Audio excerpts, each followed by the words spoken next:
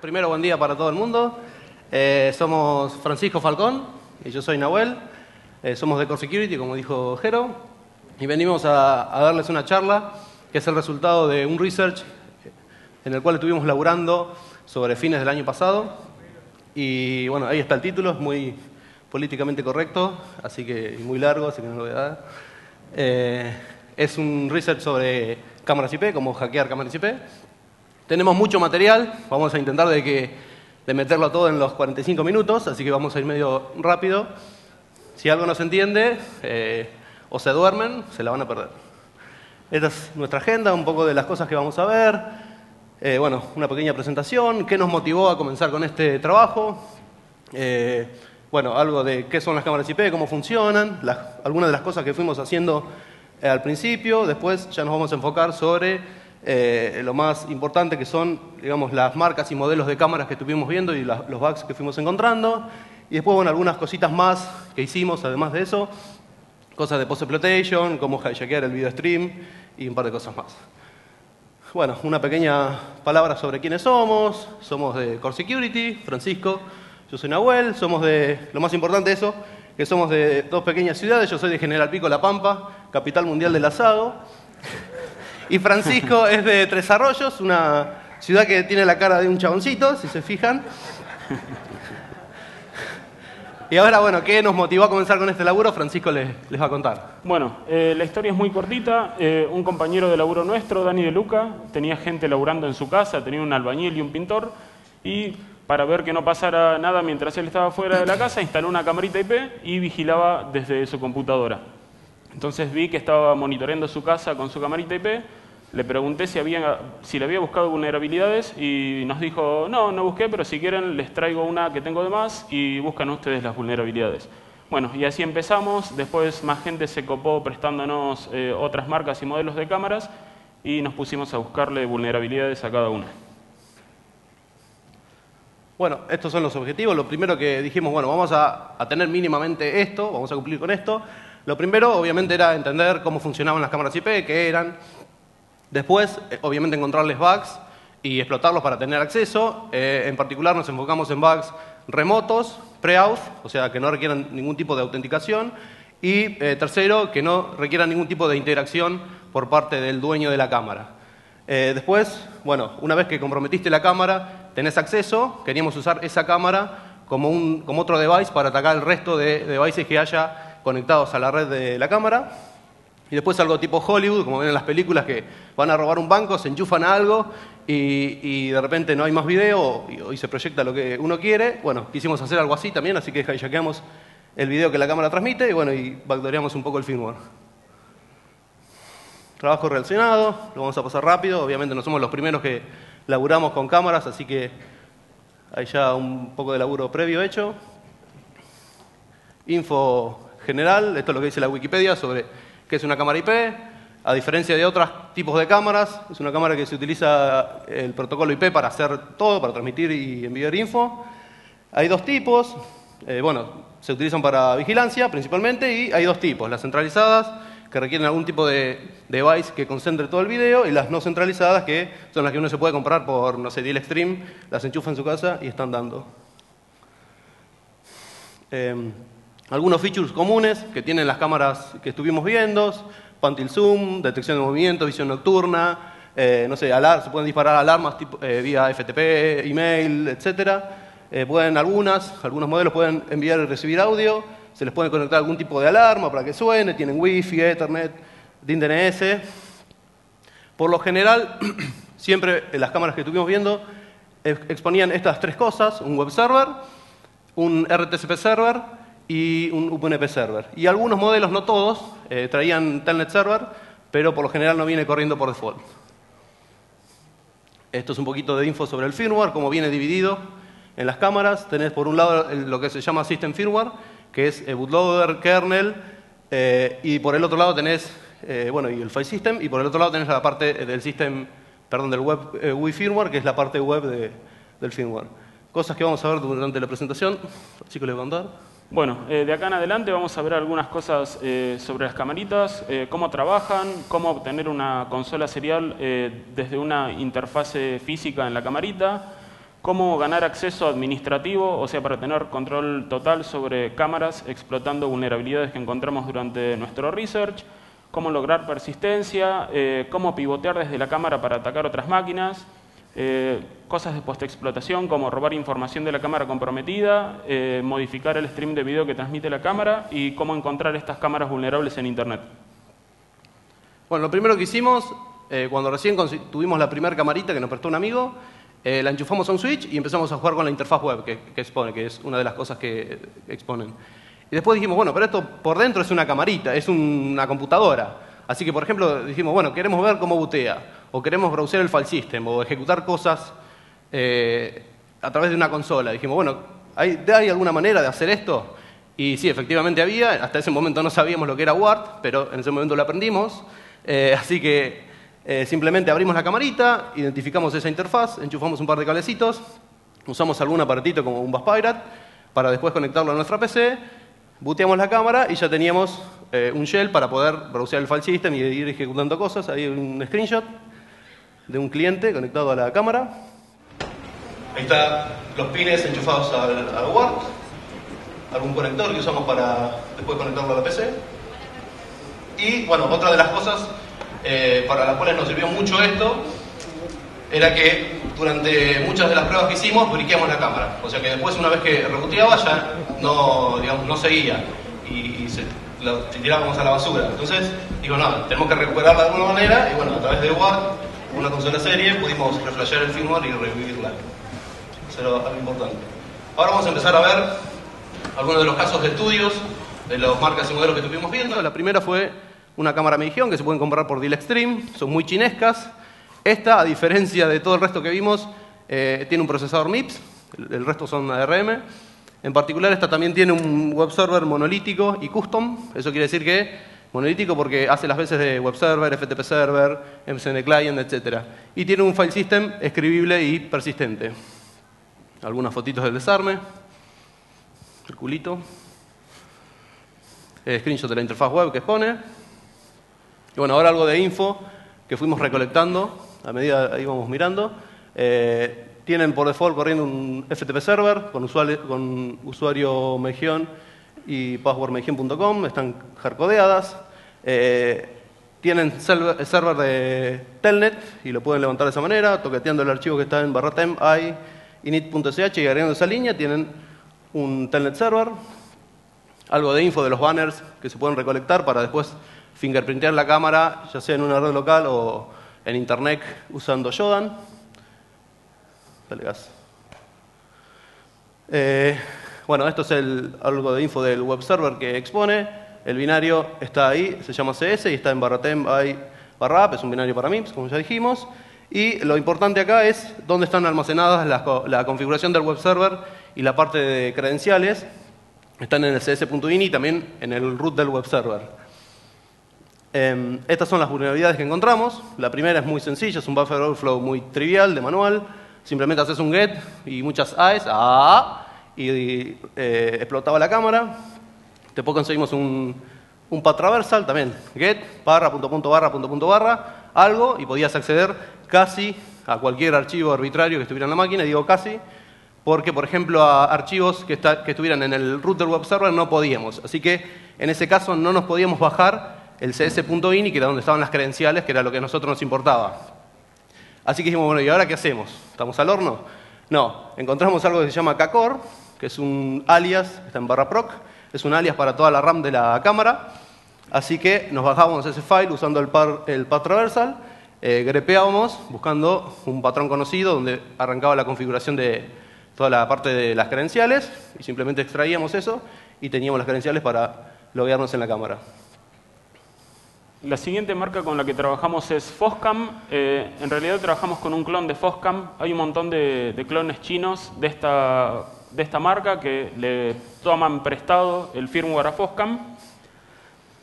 Y bueno, eh, es una camarita con un procesador ARM, tiene 4 megas de memoria flash, 8 eh, megas de RAM, tiene un SDK que se llama IPCAM SDK, donde se expone toda la funcionalidad de la cámara. tiene un web server custom y, o sea, hecho a medida por ellos y monolítico. Es web server, eh, cliente de mail, cliente de FTP, eh, cli- eh, ser- server de video, varias cosas más. Y tiene eh, un file system ROM-FS que es escribible y no persistente. Los cambios eh, no sobreviven a un reboot. Acá tenemos algunas fotos cuando la conectamos para obtener una consola serial, algunas fotitos del desarme de la cámara Foscam. Este es un screenshot de la interfase web. Bueno, algo de info de estas camaritas Foscam. Las credenciales por default son admin eh, como usuario y el password vacío. Y hay mucha gente que, deja las credenciales por default, así que es interesante saber esto. Después, si quieren encontrarla en una red local o en internet, por ejemplo usando Jodan, pueden buscar el banner del web server de la cámara que es eh, Netwave IP Camera. Eh, después, si le pedimos el archivo getstatus.cgi sin necesidad de estar autenticados, nos devuelve un archivo con algo de info de la cámara, como la versión del firmware que tiene instalada, la MAC address de la cámara y algo más de info.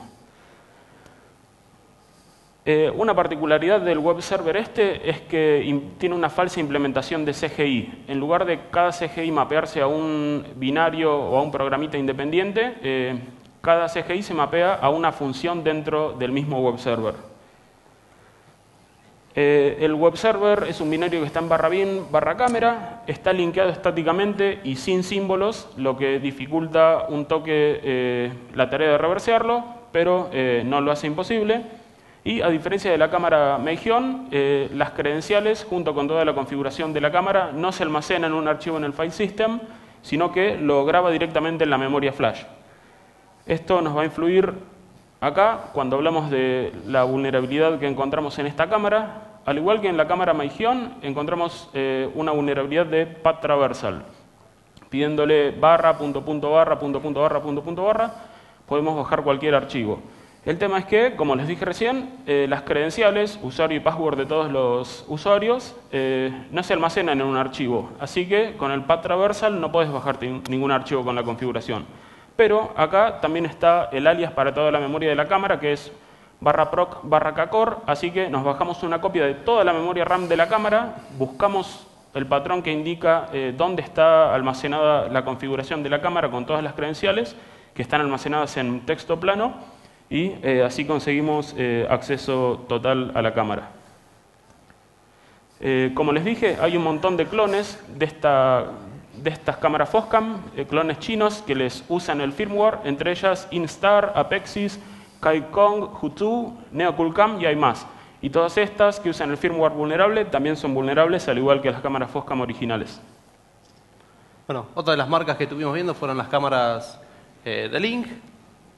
Está, esos son los dos modelos que teníamos para probar cosas, pero aplican a un montón de modelos más, son vulnerables. Eh, algo de info sobre el hardware. eh, tienen también una API para poder acceder, en este caso se llama NIPCA. Eh, tiene un file system CramFS, read-only. Y acá ya dejamos de tener eh, web servers customs y monolíticos como en las dos cámaras anteriores y ya tenemos web servers que se usan para cosas embebidas. Uno es este, que es el HTTPD en versión 1.4.19. Fotos del desarme. Screenshot de la interfaz web. Bueno, ahora algo de info. Eh, tienen eh, un telnet server también, no viene corriendo por default, pero lo podés levantar de esa manera pidiendo CGI barra admin barra telnet.cgi y le pasás command en on y con eso levantás un web server. Necesitas credenciales para hacer eso. Eh, y después simplemente us- usando también credenciales hardcodeadas que vienen, que son usuario root y password admin, eh, podés acceder al telnet server. Y bueno, obviamente no se pueden cambiar estas credenciales. Después, algo que es muy cabeza, que tienen un RTCP server eh, corriendo por default también, pero sin autenticación. Así que simplemente visitando esa página, por ejemplo con VLC, le pedís RTCP, dos puntos barra barra, IP de la cámara y le pedís el archivo play3.cdp y tenés el video de, que está transmitiendo. Este bug no lo encontramos nosotros, lo hizo ese chaboncito, Martín Sarasa, y lo publicó en su tesis. Y eh, algo interesante sobre eso es que si bien ese flaco lo encontró hace tres años, eh, ese problema de configuración sigue presente en las versiones más actuales del firmware de The-Link. Eh, bueno, algo de info también para fingerprintear la cámara en la internet o en una red local, el, banner del web server. Después le podemos pedir eh, barra common barra info.cgi, también sin necesidad de credenciales. Eh, y te dampea un poco de info, modelo de cámara, del, no sé, de la API, MAC address, eh, versión del firmware, etc. credenciales por default para web server, usuario admin, password en blanco. Y algo interesante acá también es dónde está el archivo de configuración del web server. En este caso está en barra ten barra y se llama así, lighthttpd-inc.conf. En ese file tienen algo como esto, que es tipo una lista de control de acceso. Para cada eh, path, para cada carpeta que tenés en el file system de la cámara, se definen un tipo de reglas. Dice, bueno, por ejemplo, si le pedís barra CHT barra admin, dice, bueno, esto lo voy a autenticar con Basic Authentication, pero solo admin puede acceder a ese path. Eh, en cambio, si le pedís barra CGI, también vas a usar eh, Basic Authentication, pero después dice, solo cualquier usuario válido que esté en la cámara puede acceder. Así con todos los paths de la cámara. Pero se olvidaron allá arriba, eh, gracias, de definir una regla de acceso para ese path en particular, que es CGI-bin. Así que podemos acceder a cualquier archivo que esté en esa carpeta. ¿Qué había en ese archivo? Bueno, había un file que, es rtpd.cgi, no es un CGI posta, es un shell script, pero lo grosso es que tiene un S command injection, es vulnerable a S command injection. Dale gas. Ahí tiene un cacho del script. Lo primero que hace es agarra el query string que le pasamos en la URL, o sea, lo que viene después del el signo de pregunta, y se fija si tiene espacios con el grep allá. Si tiene espacios, eh, cagamos, no podemos seguir. Si no tuviera espacios, más abajo hace val, o sea, ejecuta lo que le pasamos en el query string, pero antes reemplaza todos los ampersand que estén en el query string por espacio. Así que, por ejemplo, si quisiéramos ejecutar el unName-a seguido de un cat, etcétera, password, lo hacemos de esa manera, como está allá abajo, invocando a cgi-bin, rtp.cgi, y todos los espacios los reemplazamos por, le ponemos el comando, obviamente, y todos los espacios los reemplazamos por ampersand, así que con eso bypassamos el primer chequeo, y después eh, en esta parte reemplaza esos ampersand por espacios y ejecuta lo que le mandamos. Así que ahí ya podemos ejecutar lo que queremos dentro de la cámara. Dijimos, bueno, ahora, ¿qué hacemos? ¿Cómo conseguimos acceso o cómo conseguimos las credenciales para después tener acceso a la cámara? La primera era esta, bajarnos ese file, que está en barra tem, se llama http-htdigest.user, tiene los hashes de las credenciales, así que dijimos, nos bajamos este file, de alguna manera, usando el Common Injection, y usamos, no sé, John the Reaper para craquearlo. Pero si el usuario se avivó un toque y puso algún password medio copado, podía tardar un rato. Así que busquemos otra manera, un poco menos tumba que esa. Em, así que dijimos, vamos a buscar otra cosa. Y buscando, produciendo un poco el file system, encontramos en ese path, en barra bar, w, sgi, admin, el file que se llama tools y en bajo admin. Este, em, esta aplicación se usa para agregar, quitar o remover, eh, perdón, o modificar cuentas de usuario. Em, así que dijimos, bueno, ya está, agregamos una cuenta de usuario que controlamos nosotros, con usuario y power, y ya está, al horno la cámara. Eh, sin embargo, hicimos un par de pruebas y no nos terminaba de, eh, de crear el usuario correctamente. Así dijimos, ¿y ahora qué hacemos? Estamos al horno otra vez y empezamos a jugar un poquito a través de la consola de Telnet y nos dimos cuenta que ejecutando ese archivo, simplemente invocándolo desde la consola de Telnet, nos dampeaba un XML con toda la configuración de la cámara, incluidas todas las cuentas de usuario y las de administrator, por ejemplo ahí, que dice admin, Cobra Cordobesa, Giovanni Electra, son trabas.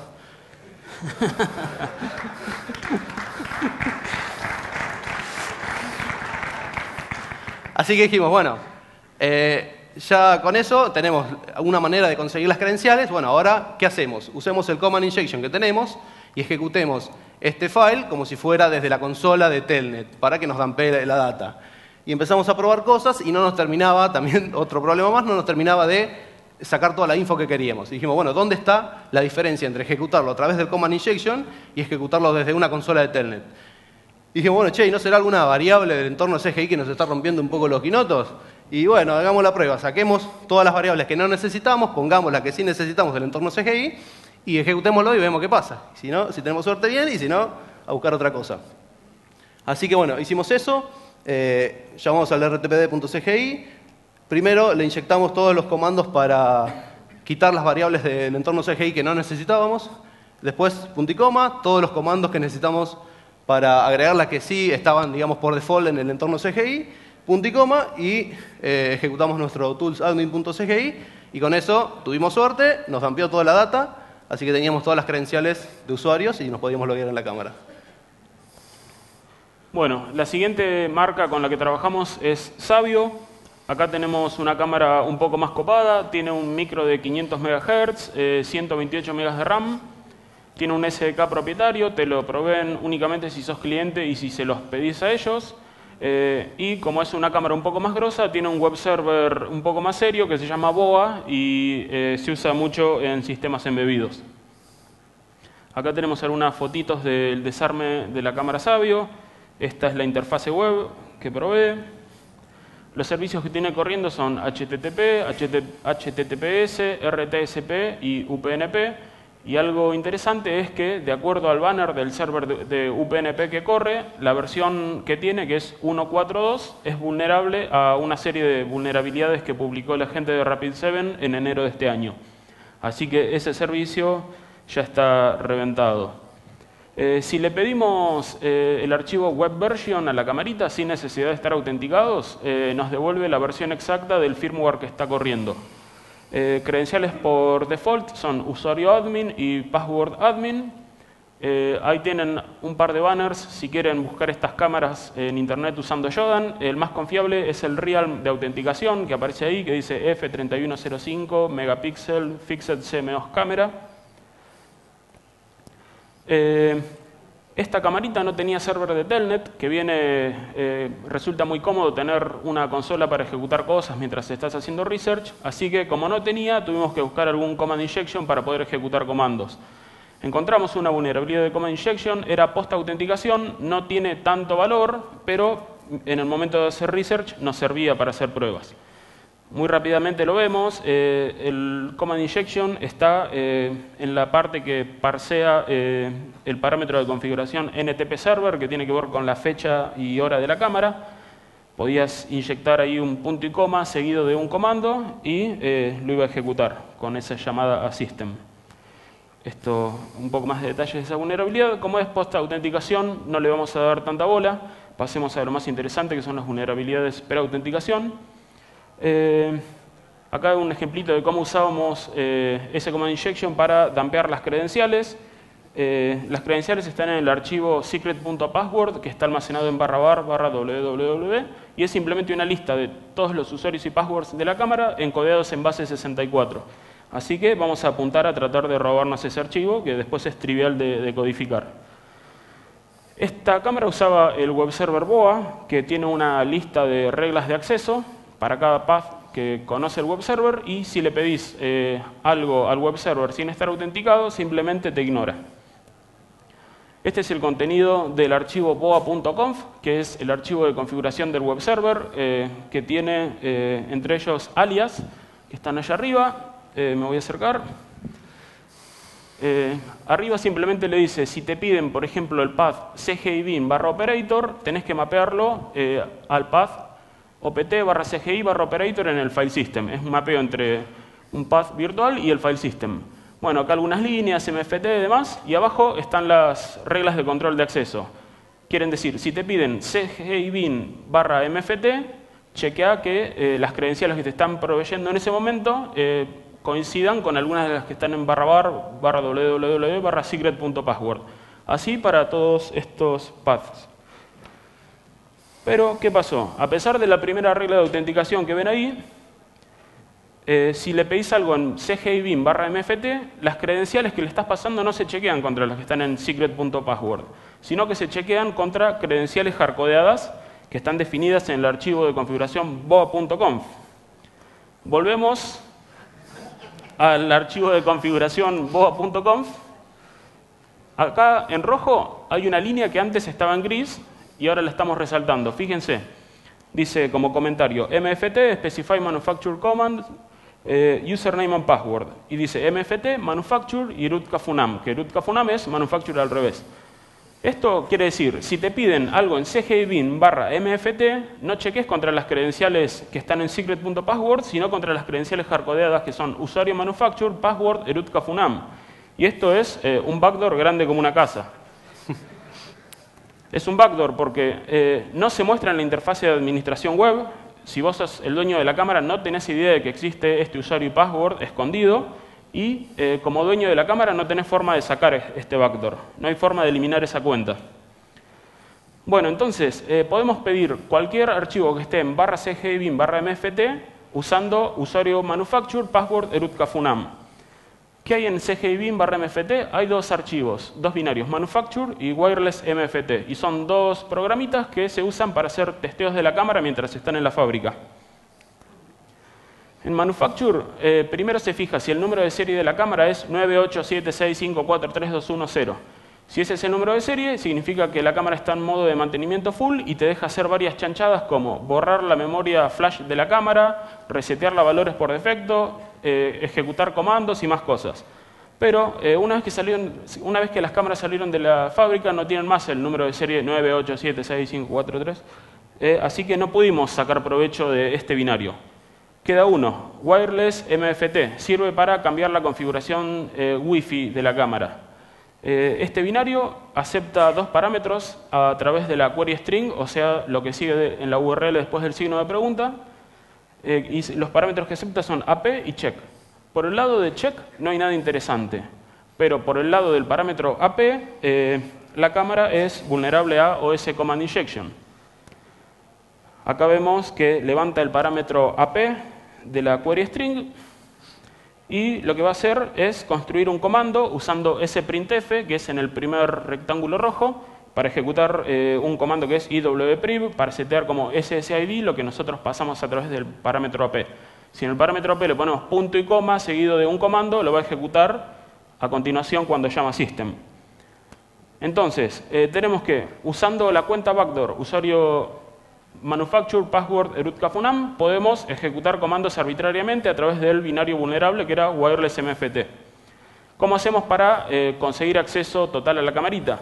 Bueno, eh, si se acuerdan, las credenciales estaban encodadas en base 64 en el archivo secret.password. Lo que hacemos es, con el command injection, copiar ese archivo de credenciales al root del web server. Eh, como primer paso, ahí vemos un ejemplo de la inyección, llamamos a wireless mft después de vernos logueados con la cuenta backdoor, y en el parámetro AP ponemos cualquier cosa, punto y coma, y el comando para copiar el archivo al root del web server. Y como segundo paso, con el browser, simplemente pedimos esa copia de las credenciales, que ahí lo habíamos llamado credentials, y ahí tenemos eh, todos los usuarios y passwords de la cámara, simplemente encodeados en base 64. Así que esa camarita también es nuestra. Bueno, y una de las últimas marcas que estuvimos viendo fue TP-Link, eh, teníamos dos de estas, pero bueno, no las prestaron, así que tuvimos que pedirle prestado a la Internet. Eh, tienen un file system X2 y también tienen un web server eh, BOA, casualidad, igual que las Sabio que les mostró Francisco. otra casualidad que encontramos en esta cámara es que tienen exactamente los mismos servicios por default corriendo, igual que la Sabio. más casualidades, también le podés pedir el web version sin necesidad de estar autenticado y también te tira la versión del firmware mismas credenciales que la Sabio para el, web server. Y bueno, hay los banners para fingerprintearlas un poco.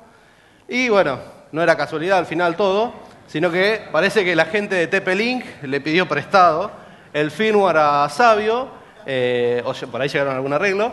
Eh, así que tienen exactamente la misma cuenta backdoor, que era Manufacture Erutkafunam, me cuesta pronunciarlo, eh, y también tienen los modelos wireless, el mismo archivo wireless MFT con el mismo command injection, así que las pauneamos de la misma manera. Eh, las cámaras TP-Link que no tienen wireless no tienen ese binario, pero sí tienen eh, la misma cuenta backdoor. Bueno, hasta ahí con, los, con las cámaras y modelos que estuvimos, las marcas y modelos que estuvimos viendo de cámaras. Eh, no nos queríamos quedar ahí, como hizo alguno en Black Hat de este año, y dijimos, bueno, hagamos, hagamos más. Y una de las cosas que hicimos fue buildear nuestro propio firmware, armar nuestro propio paquetito para subirle la camarita, porque queríamos tener, por ejemplo, nuestras herramientas corriendo ahí. Eh, y, ah, de acá en adelante, eh, lo que vamos a decir, eh, todas las cosas que hicimos aplican a la Foscam, que es esa camarita que está ahí. No sé si se ve. Pero con un poco más de laburo, obviamente, se puede hacer para otras marcas y modelos. Así que lo primero que hicimos fue buildear nuestro propio firmware. Teníamos dos maneras de subir cosas a la cámara. Eh, en realidad una, pero era a través de la interfaz eh, web, a través de la parte de update del firmware web o el system firmware, así que dijimos, bueno, empecemos a reversear un poquito el formato de estos archivos. El primero que agarramos es el eh, firmware web, ahí está un poquito lo que tiene, el, el, formato que tiene, la función donde se chequea este formato, tiene el header, después venía una radio file entries, que también tienen que tener ese formato, y después agarramos lo que es el system firmware, que adentro de ese file, que es un .bin, tiene dos cosas. El linux.bin por un lado, que es bootloader y kernel, y además tiene una, por el otro lado una imagen de file system, que es ROMFS. Ahí está el formato que tiene que tener el .bin del system firmware. Estos son los pasos muy sencillos que seguimos para eh, buildear nuestro propio firmware. Agarramos el .bin del system firmware, extraemos la parte del file system, lo montamos usando mount, eh, hacemos todos los cambios que queremos, ponemos, sacamos, lo que sea, y después con GenRomFS simplemente buildeamos el file system, ROMFS, y lo unimos al linux.bin y se lo subimos a la cámara. Así que ya podíamos subir cosas. Eh, después necesitábamos cross-compilar, o sea, eh, agarramos nuestra, nos bajamos eso, un toolchain y una distro, que es la distro de Linux que corre en esa cámara, que es UC Linux, eh, y con esto podíamos cross-compilar para arquitectura ARM desde nuestra máquina que era i386 o x64. Un pequeño ejemplo de cómo compilábamos un Hello World, a diferencia de los Linux eh, comunes y corrientes, digamos los que usamos en la desktop, este no, no, corre ELF, no tiene ELF, sino que corre algo que se llama BFLT, que es un formato binario muy sencillo, ahí hay algo de info. Bueno, y otra de las cosas que, que quisimos hacer son cosas de post-exploitation. Una vez que comprometes la cámara, queríamos ver qué se podía hacer. Bueno, bueno. Eh, lo que les cuento acá eh, también aplica a las cámaras Foscam. Con un poco más de laburo se puede hacer para cualquier, otro, cualquier otra marca y modelo. Una de las cosas que teníamos ganas de hacer es dejar un backdoor, dejar un, una puertita abierta en una cámara Foscam comprometida. Eh, si se acuerdan, dije que esta cámara tenía un, una API eh, y reverseando el binario del web server encontramos que había algunos CGIs que no estaban documentados en la API pública. Uno de ellos es el CGI que se llama CheckUser2, que no está documentado. Entonces dijimos, bueno, ya que no está documentado, podemos usar este para backdoorearlo. Eh, este es el código original de este CGI, levanta los parámetros user y password de la query string, lo que viene después del signo de pregunta, y llama a la función c3e0, que simplemente hace la parte de autenticación con ese usuario y password que le dimos.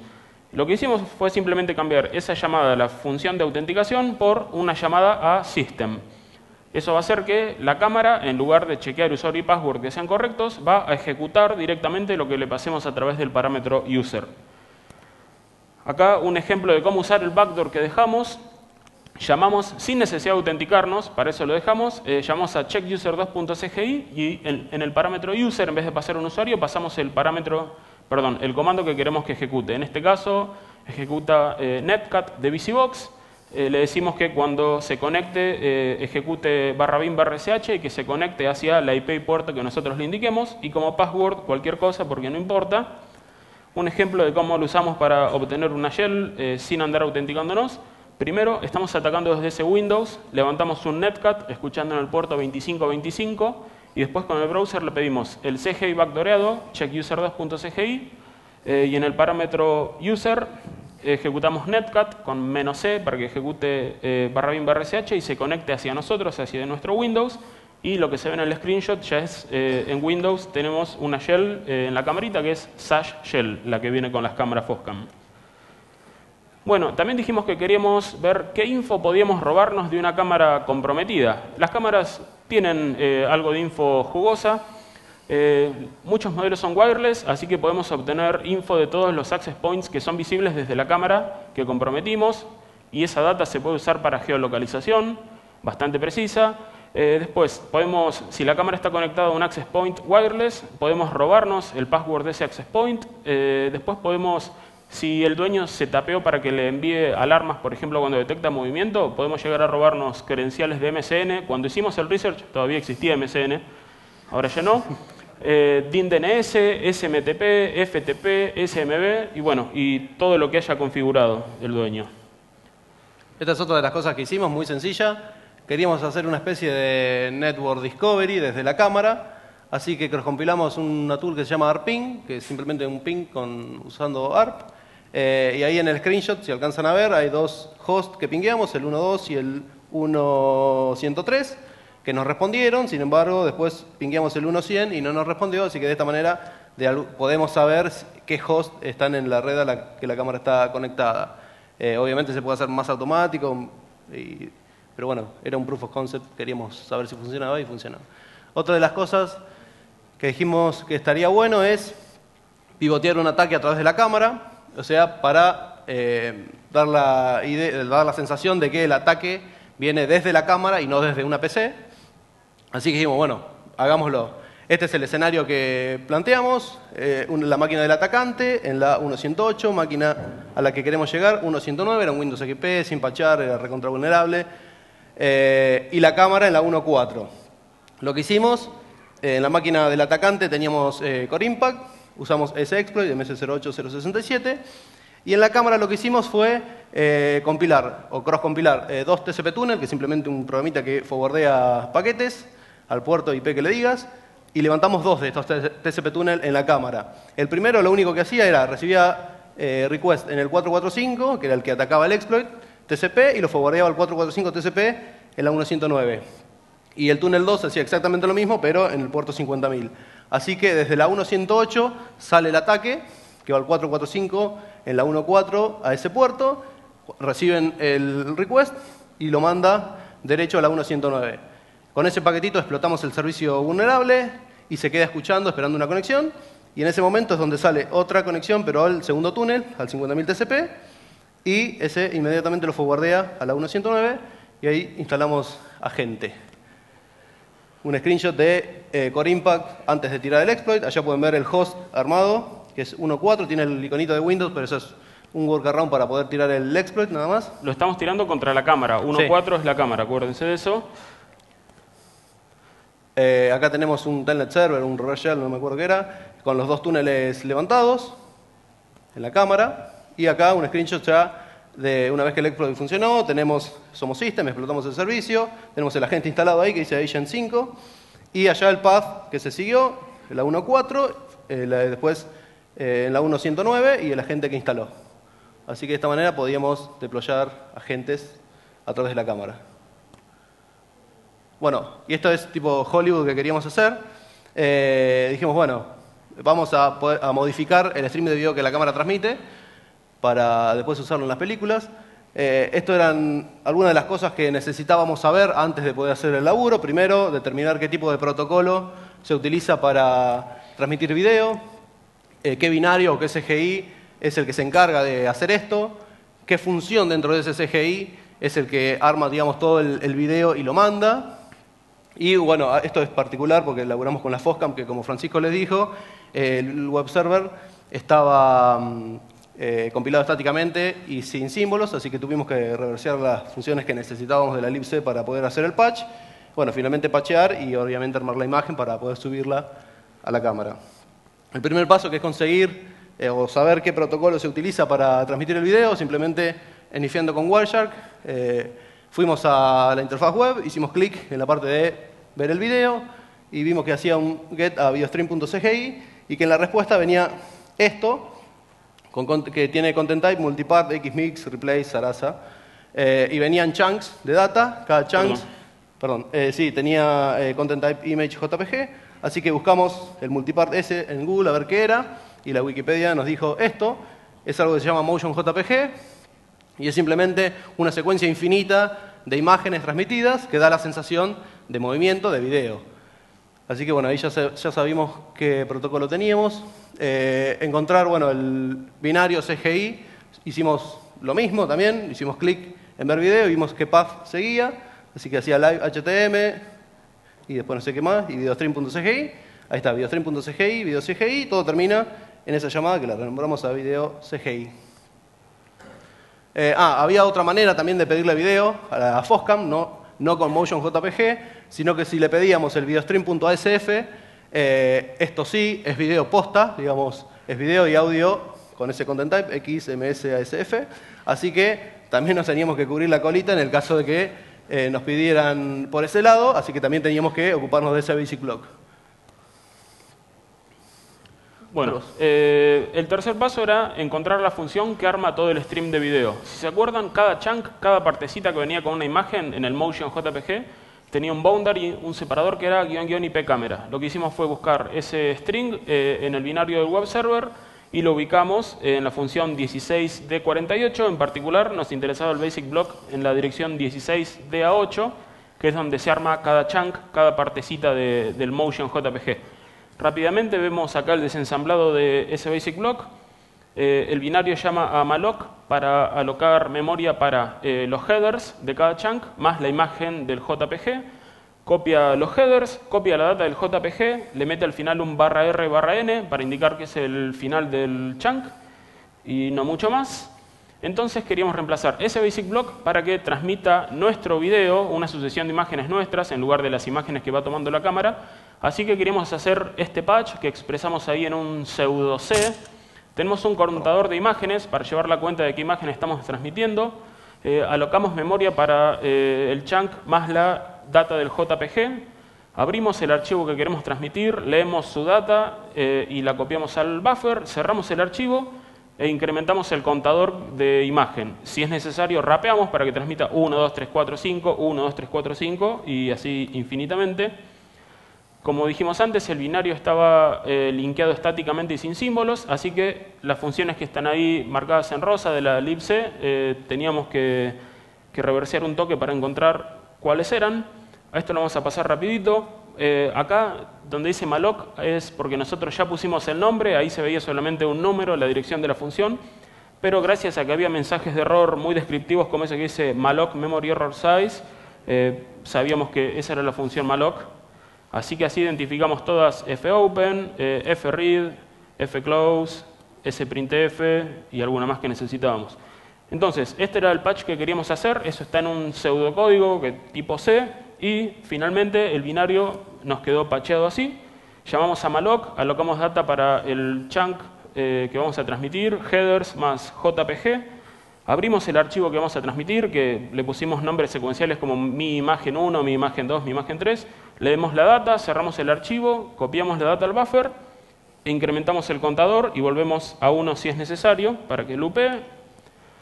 Y como dijo Nahuel, había que considerar el caso de que no te pidieran video.cgi, que era el formato Motion JPG, sino el video posta, videostream.sf, así que agarramos. Allá arriba está considerando el caso en que le pidan videostream.sf, pacheamos para que redirija hacia nuestro audio, perdón, hacia nuestro video tuneado Así que le pidas lo que le pidas, va a transmitir nuestro video y no el original que está capturando la cámara. Vamos a, hacer, la demo. Una pequeña demo. Vamos a hacer una demo de eh, esto de poder modificar el video que está transmitiendo la cámara. Ahí lo ven a Nahuel. Esta es, esta es la cámara Foscam. Yo voy a ser el relator. Eh, tiene el firmware original. Lo que va a hacer Nahuel ahora es a través del feature que tiene esta cámara para hacer un upgrade del firmware, le va a subir eh, un firmware toqueteado con el patch que explicamos recién. Ahí ven que tiene, eh, permite updatear tanto el firmware web como el de system. Ahí está el original y el backdoreado. Nahuel le va a subir el backdoreado. Dale gas ahí. Ahí lo está subiendo. Acuérdense que a esta cámara podríamos haberla comprometido sin tener idea de las credenciales usando el path traversal que encontramos. Le pedimos barra, punto, punto, barra, punto, punto, barra, nos bajábamos una copia de la memoria y dentro de esa copia de la memoria están las credenciales de todos los usuarios. Así que buscas la de administrador que te va a permitir usar este feature de actualizar el firmware y le vamos a subir un firmware nuestro. Eh, el firmware este que estamos subiendo tiene eh, una secuencia de imágenes eh, que les pusimos nombre secuencial como mi imagen 1, 2, 3, 4, 5, que van a reemplazar el video original. Y además tiene el web server patcheado con el patch que mostramos, que en lugar de transmitir el video posta, levanta esos archivos eh, que nosotros subimos y se los va mandando. Bueno, eh, la cámara acá está flasheando el firmware nuevo, demora unos 60 segundos y después de eso rebotea. Ya estamos terminando. Vieron que originalmente se veía Nahuel. Ahí la cámara está girando, que es lo que hace cuando rebotea, hace como un paneo. Y eh, esto ahora va a tener el video modificado. A ver qué aparece, a ver qué subió Nahuel. La Giovanni, con ustedes, girando, haciendo su, su baile de remolino.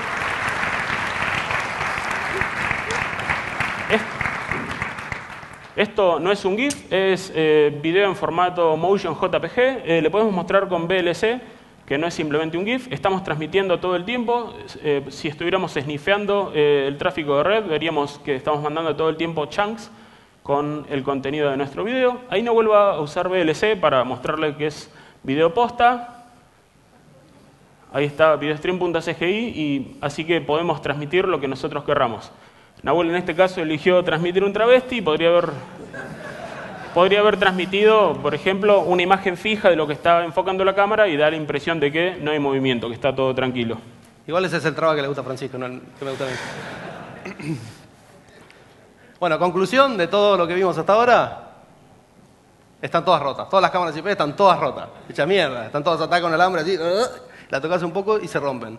Eh, así que si se compran una en el Extreme o donde sea, no las expongan directamente a la internet, no lleguen a su casa y la enchufen porque cagaron. Mantengan, el firmware al día, aunque probablemente también esté vagueado. De hecho, todos los bugs que encontramos eh, fueron en la última versión del firmware que había disponible.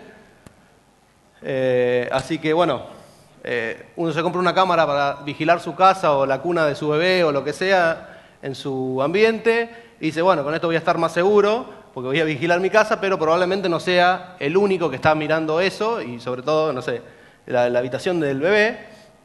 Eh, y peor aún, algunos modelos de cámara no solo permiten, eh, obviamente, tener video, sino escucharte, o sea, grabar eh, mm, sonido y enviar, inclusive, imagínense una noche oscura, que alguien, un chino, le mande, hola, hola, se caga todo el chino.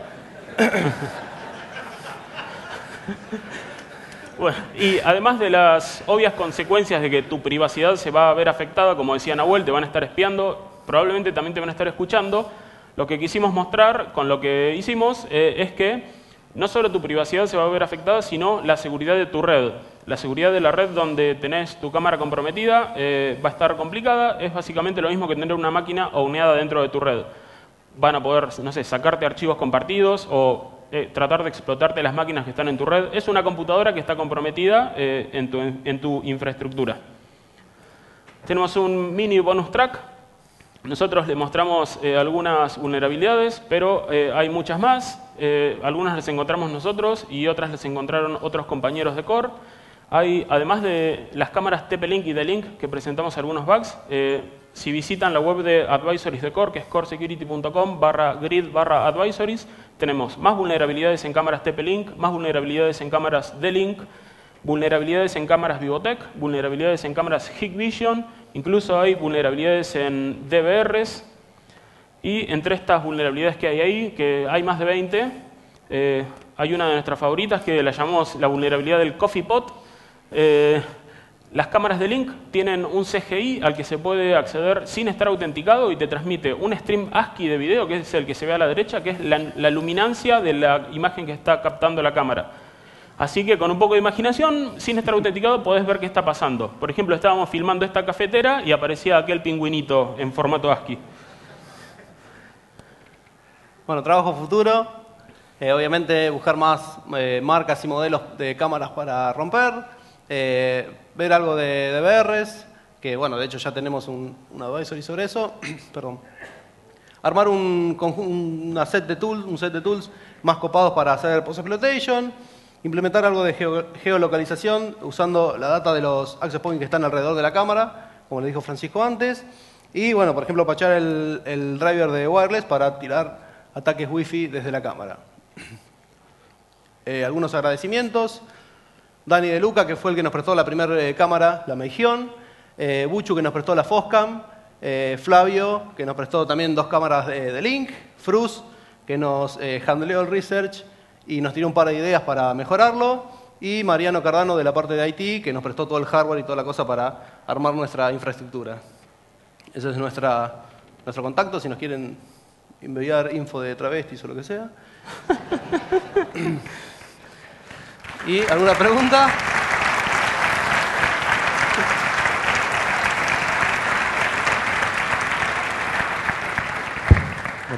Tenemos tiempo para dos preguntas. Bueno. ¿Hay alguna pregunta? ¿Preguntas? ¿Cómo? Y probablemente con un poco de laburo, sí. Sí. ¿Más preguntas? No, no, de hecho algunas que abrimos eh, dijimos, eh, esto parece Word y cuando enchufamos ahí era otra cosa, usamos en algunas algún analizador lógico con la ayuda de Aníbal para identificar el tipo de protocolo, eh, pero no, no, no todas son Word.